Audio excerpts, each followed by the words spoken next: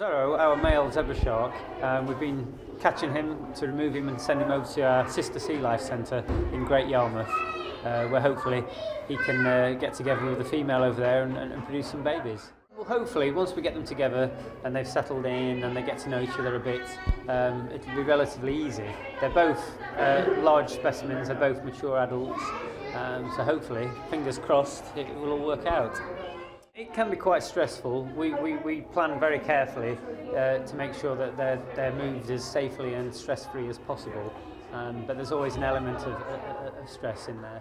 In a specially designed transport truck, um, in a tank where they'll be monitoring the water quality and making sure he's okay for the journey. He'll have about a three, four hour journey to Great Yarmouth. Uh, from there, the, the team will, will take over, take him out, um, get him used to their water and their display, and then uh, just keep an eye on him, really. It's very unusual in the UK. Um, we're hoping certainly that this will be the first time within the Sea Life group that we've got them to breed. Um, and, and it's very important, you know, for shark conservation and, and just sort of pushing, pushing things forward in terms of breeding, really. I'm really hopeful.